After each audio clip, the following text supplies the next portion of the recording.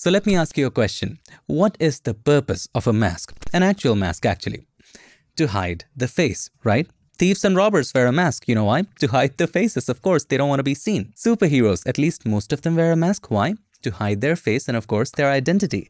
Similarly, in Photoshop, the only objective of a layer mask, the only purpose of a layer mask is to hide the layer. That's it. So here we have a beautiful ballerina. On top of that, we have this flow text. We want to create the text layer in such a way that the O comes from behind her. How do we make that happen? We have to hide parts of O, right? And we make that happen with the help of a layer mask. And the way you can create a layer mask is by selecting the layer for which you want to create the layer mask and then click on the mask button right there. There you go. It creates something right there. At the moment, it is all white.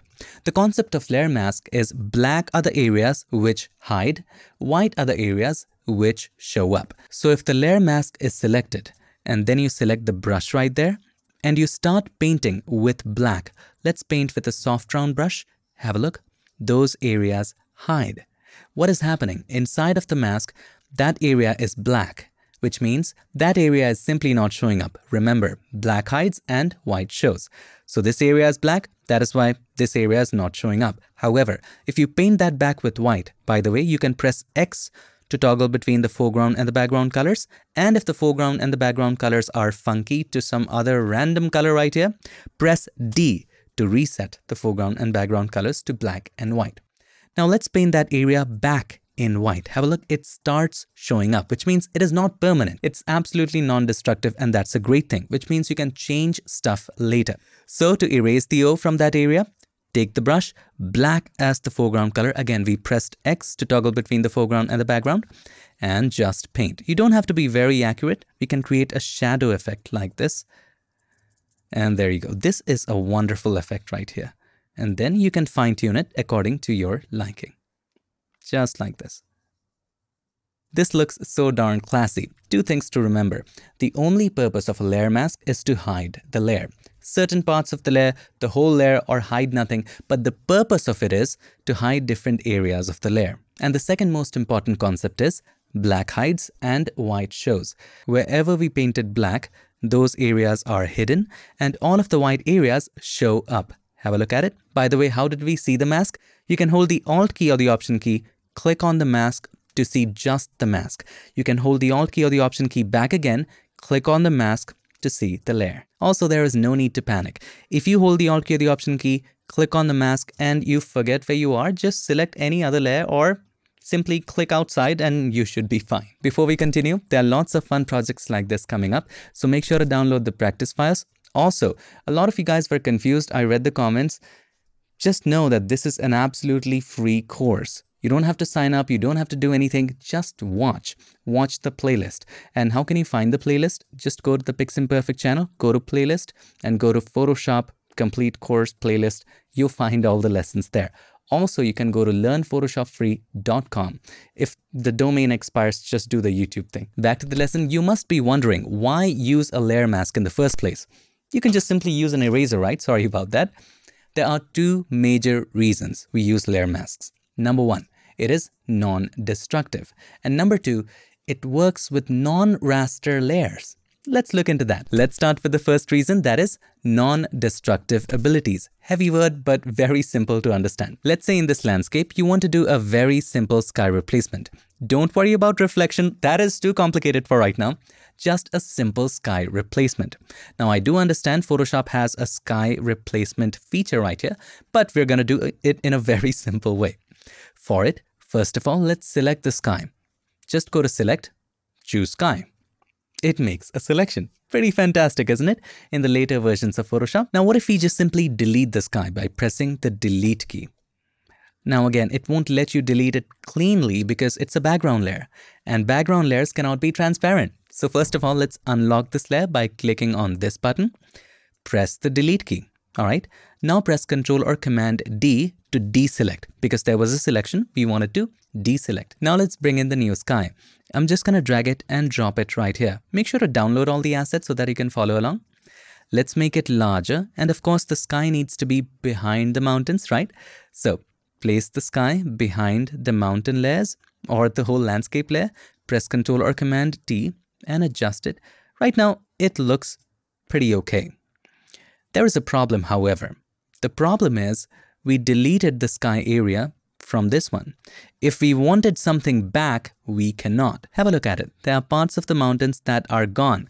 If I turn it off, you can easily see that. Have a look. These have become transparent. Also have a look at this area.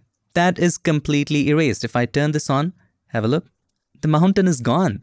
We cannot have it back. Similarly, if you just use the eraser tool by selecting right here and erased the sky, let's say we did it this way, we cannot have the mountains back if we painted extra accidentally or if we want something back for some reason. So that, my friend, is the destructive style of editing. It is the style of editing where we cannot go back after the fact. Layer masks allow you to work non-destructively. Let's go back to how it was, right? This is how it was. First of all, let us select the sky. How do we do that? Go to select, sky. You can also use other tools. You can erase it in a layer mask with a brush. That's all up to you. But this is easy. Once the selection is active, if you click on the mask button, it will create a mask of the selected area. So if I click right here, have a look, only the selected area shows up because in the mask right here, the sky area is white and the other areas are black. White are the areas which show up, black are the areas which hide. That is why this is the case. But we wanted opposite of it. So there are two ways we can approach this. We can select the mask and then press Ctrl or Command I to invert the mask. Now the sky is black and the ground base is white, right? It completely opposites the mask. The other approach is a little shortcut. Let's go back to how it was. Here we now have a selection if we wanted to create an opposite mask, or in other words, a negative mask, we would hold the Alt key or the Option key and then click on the mask button. It creates the opposite mask already, so you don't have to do that extra step. Now, if you bring in the new sky, let's make it a little larger like this. Take it behind the ground, the mountains. Control or Command T, let's take it up like that. Right now, we can bring stuff back. If you zoom in, have a look, these areas are transparent, right? I can go into the mask right here. We can take the brush, white as the foreground color, and paint these areas back in. Bring them back. There you go. So this gives you the flexibility. This gives you the non-destructive abilities to go back if the mask was not right, or if you want to change something. Now, before we move on to the next reason why we use layer masks, what was the first reason? Because it is non-destructive. You can go back and stuff. Let's start with the second reason. So what was the second reason we talked about? Second reason is simply that it works with non-raster layers. What do I mean by that? So in this image of this classy lady, let's say we want to add some funky background. So let's open our Finder or Explorer we're just going to drag it and drop in the doodle pattern. By the way, I downloaded it from Envato Elements. I highly recommend it. It's amazing. It gives you unlimited access to all of these assets, unlimited downloads of these things like Photoshop actions, brushes, graphics like these, and so much more sound effects, stock photos, stock videos, Photoshop plugins and stuff. So check it out. There's a sale going on right now. I don't know how long it will go. Check the links in the description. Did you notice that when we placed it, it placed as a smart object? Let us delete that and let me do that again for you. And this time notice. So if we go right here, if we click and drag and drop on the canvas like this, this, my friend, comes as a smart object and comes resized. Why is this so? You need to make a small change in your Photoshop preferences. Go to Edit and then Preferences. On a Mac, it would be under Photoshop and then Preferences. And inside of that, go to General. And inside of General, make sure you check Always Create Smart Objects when placing. Also, you might want to resize during place and that is why it was fitting to the canvas. Hit OK. Now, of course, we want this design to be behind the subject. For it, we need to select the subject. Right now, if we select any of these three tools, the object selection, the quick selection or the magic wand tool, at the top we will see the option for select subject, but it won't do anything. Why? Because this layer is selected, not the subject layer. So select the subject layer, click on select subject. Now that we have a selection, remember, we want it not on the subject, but everywhere else. In other words, we want a negative mask. So how do we create a negative mask? We just learned.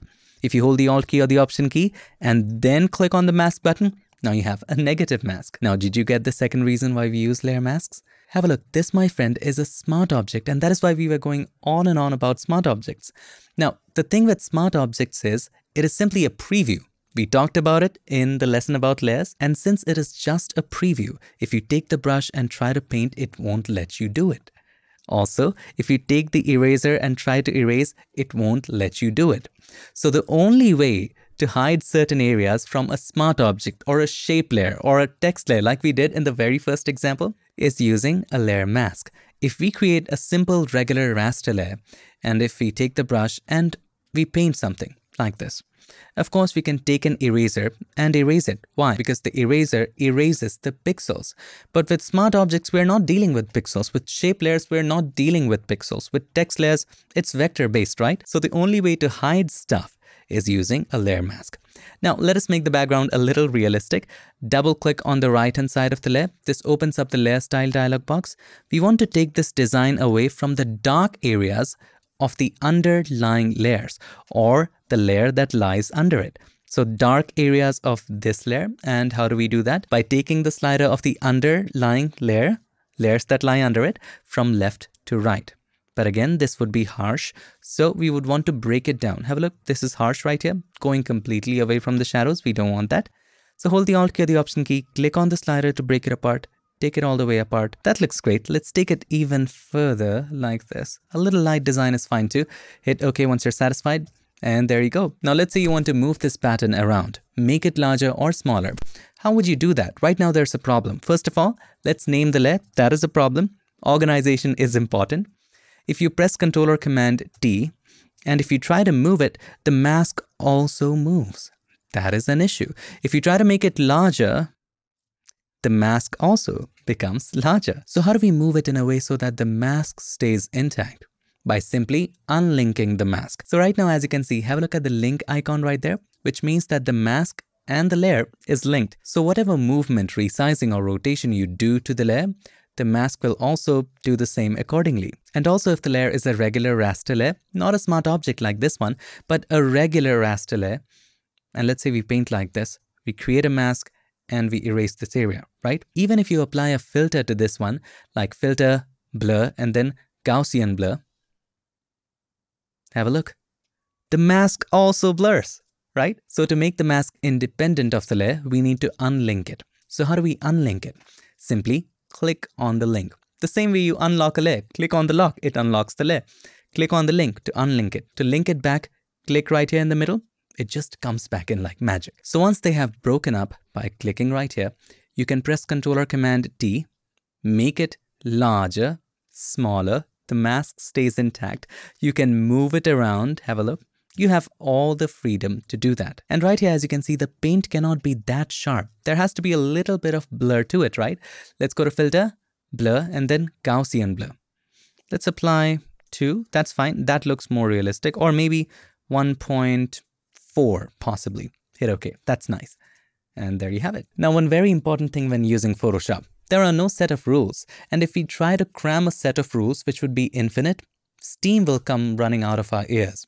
Instead, once we understand the concept, your approach might be absolutely fantastically different from mine and that is absolutely fine and that is the way it should be. Now just as we can turn off and on layers, we can also turn off and on just the masks and here's how to do it. Let's say you want to take a look at how the original sky looked like without the mask right here. You can hold the shift key and click on the mask there you go, the mask is turned off. And this is how the image would be without the mask. Sometimes we don't want to delete the mask because we just want to look at how it would look like if the mask was not there. Or you might want to check something. But right now I have deleted it and I have to do the mask all over again. So that is why Photoshop has this feature where you can simply turn off the mask whenever you want.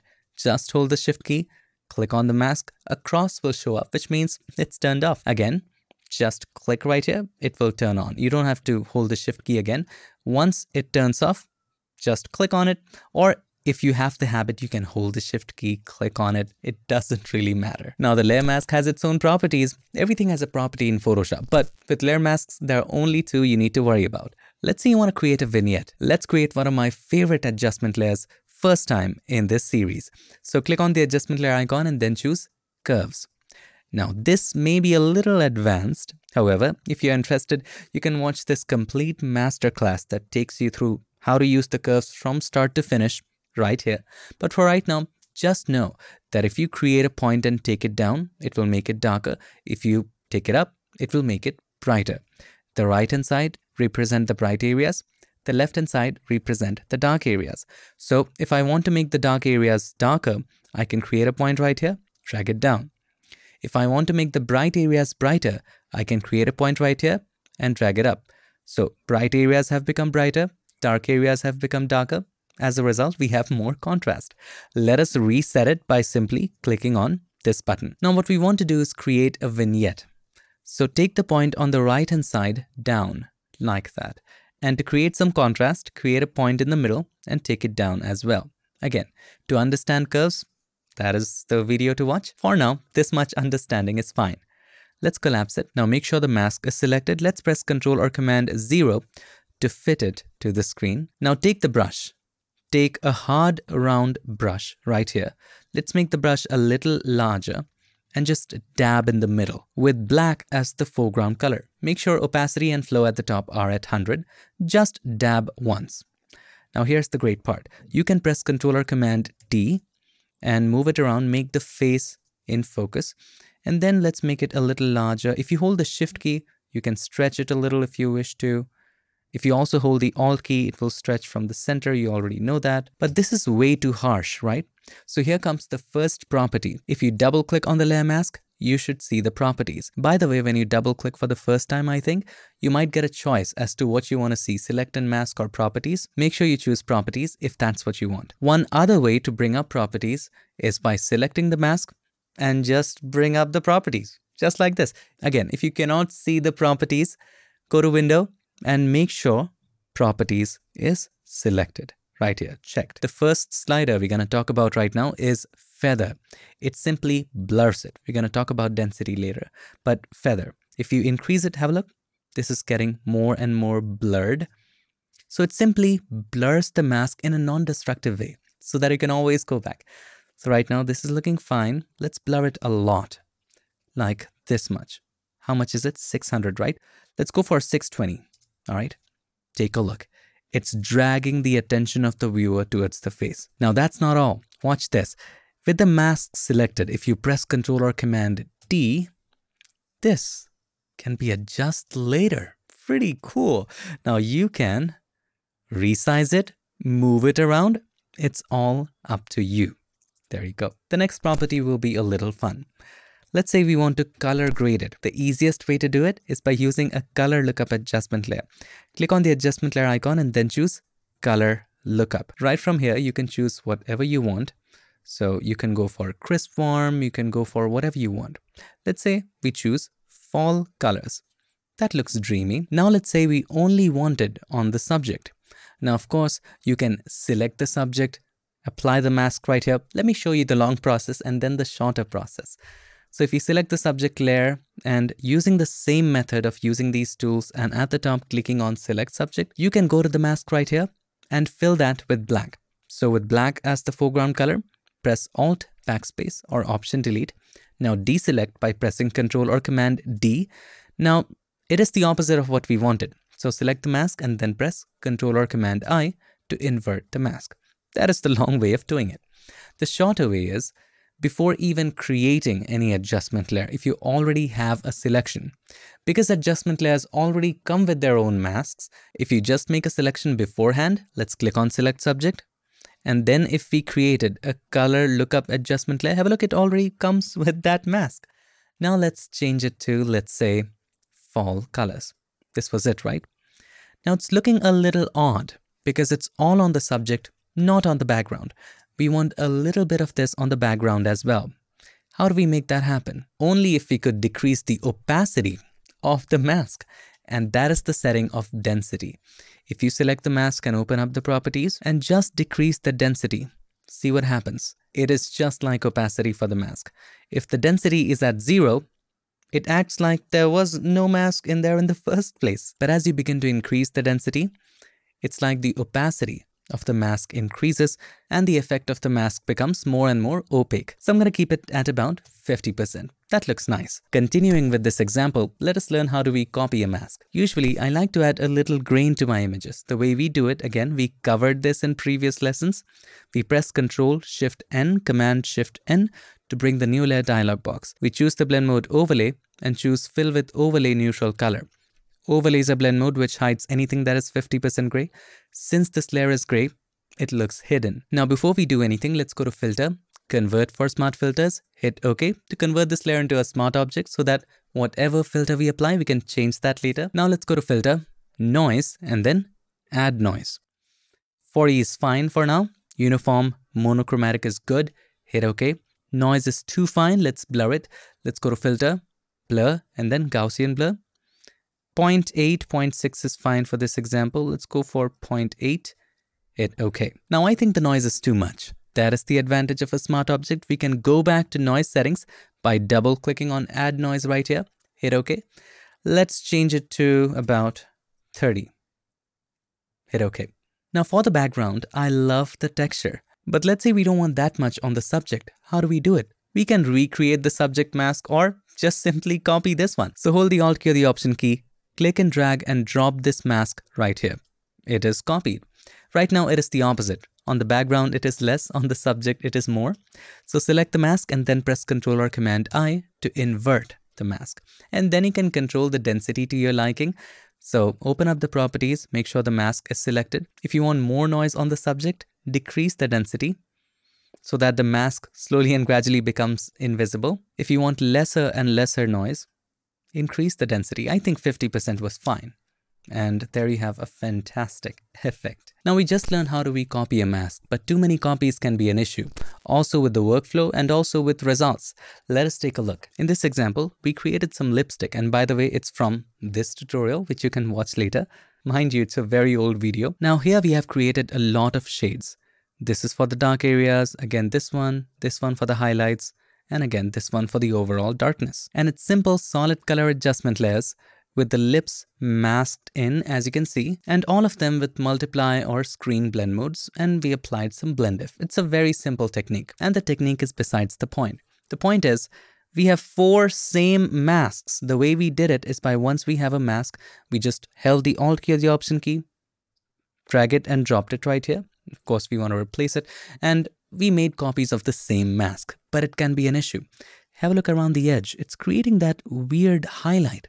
And it can do that sometimes. Another challenge is if you want to adjust something in one mask, for example, let's say this area was not looking right. So you went into the mask of this one, you took the brush and you painted accordingly. Let's say we painted in black, we erased that area. But now you have to do the same thing in all four masks. That's an issue. So instead of doing all this, just group all of those layers. Let's say these were ungrouped. By the way, to ungroup a group, right click on it and then choose ungroup layers. Just select all of them, select the first one, hold the shift key, select the last one and then press Ctrl or Command G to group them. Let's name it whatever you want, lipstick. And then let's open up the group and put one of the masks on the group. That's it. And you can delete the rest of the masks. So drag the mask, drop it to the trash can. Delete. Do the same you can also check don't show again to not show it again, but I keep it because I have to teach. Now have a look. There is no more weird highlight around the edge. Also, if you have to change the mask now, you just have one mask to deal with. Now let's talk about the concept of double masking. Let's say we want to paint some highlights. So we create a solid color adjustment layer by clicking on the adjustment layer icon and then choose solid color. All right, hit OK for now. Turn it off, double click right here and then you can choose any highlight color from the image. To ensure that it's picking the colors, make sure sample all layers is selected. Sample size, point size or 3 by 3 is fine. Keep it 3 by 3. It takes a 3 pixel by 3 pixel average. Let's sample this color, hit OK. All right, let's turn this on. Now we want the highlight on the subject. So select the subject layer, select any of these three tools, click on select subject. You know the process, you know the drill. Select a mask, fill it with black, Alt backspace, Option delete. Control or Command D, and then select the mask, press Control or Command I. You wouldn't have to do that long of a process if you already had a selection and then you created a solid color adjustment layer. We just covered it. Now the highlight is literally all over the subject. We only wanted it on the right hand side. Why? Because the light is coming from the right hand side. So now we have a mask. But the problem is if we go right here, we take the brush and with a soft round brush, we erase it from the areas. We paint black in the areas where we didn't want the highlight, like this. Now to make it look like a highlight, you can double click on the right hand side of the layer, hold the Alt key the Option key, click on the slider to break it apart and take it away from the dark areas of the underlying layer. That's pretty good. Hit OK. I would also decrease the opacity. That's a nice highlight. But the problem now is this. If I wanted to get the highlights back in the hand areas, I cannot do that because if I go to the mask, take the brush, white as the foreground color, we pressed X to toggle between the foreground and the background. If we try to paint this area back in, it also paints on the sky. Have a look, it also paints on the sky, so that's an issue. If I try to paint this area back in, See, it also paints that area. So my mask is gone. I wish I had the mask for the subject again. So I would have to redo it. I would have to redo select subject, create that mask and go through the entire process. Instead of doing that, here's what you do. Once you have the mask, once you have this filled, put that layer and just that one layer in a group. A group can have one layer, no issues. You can always be a group of one. Select that layer and press Ctrl or Command G. Now create a negative mask by holding the Alt key or the Option key and click on the mask button. That creates a black mask. Now this mask is right here. No issues. But here's another mask that you can work with. Now you have two masks for the same layer. Now if you paint with white and bring back some of the highlights right here, it's not an issue because that's a different mask and you still have this mask intact. Only the intersecting areas of both of this mask is gonna show up. Now we can zoom in, erase this area, paint that back in, no issues at all because we still have this mask. So that is the concept of double masking. And I've saved the most fun project for the end, and that is using image as a mask and you can create incredible effects with it. Yes, you can definitely use an image as a mask. Let's first create a black background. Unlock the layer, and click on the adjustment layer icon and then choose solid color. Let us choose black and hit OK. Place this behind the bushes because we're gonna need it. Now what if we had a face in a mask form so that only the highlights of the face show up? So here my friend we have our beautiful model. Let's copy this. Control or Command A to select all, Control or Command C to copy, and then let's get back to it. And first let's create a mask by clicking on the mask button right here. Now to paste it properly, we need to hold the Alt key or the Option key, click on the mask to get to the mask mode, and then press Ctrl or Command V. It's pasted, but it's too big. Press Ctrl or Command D to transform. You know the drill. Let's make it this way. This is fine. Hit Enter or Return. Ctrl or Command D to deselect. Now there are some additional areas. You can take the brush, black as the foreground color and just fill that in, not an issue. You can also use the rectangular marquee tool, but I just did it this way. Now ready for the moment of truth? Click anywhere else. And there you have it. Pretty cool, isn't it? Now this may be not too bright. You know why? Because the highlights of the mask is not too bright. So to fix it, we need to make the highlights of the mask brighter. Select the mask and then press Ctrl or Command M to bring up the curves. And to make the highlights brighter, just take this slider to the left. So we're gonna keep it this way. That is good. Hit OK. By the way, OK is hidden. Hit OK. And there you go. Cool. Wonderful, isn't it? So all in all, there are just two things you need to remember. Number one, the only objective of a layer mask is to hide the layer. And number two, black hides and white shows. That's all. Thank you so much for joining me in this video. And again, this is a free series. Just enjoy watching. Don't worry about anything. I hope this video helped you. And if it did, make sure to give us a like. And also don't forget to subscribe and not just subscribe. Ring the bell so that you, my friend, don't miss any other future tips, tricks, or tutorials.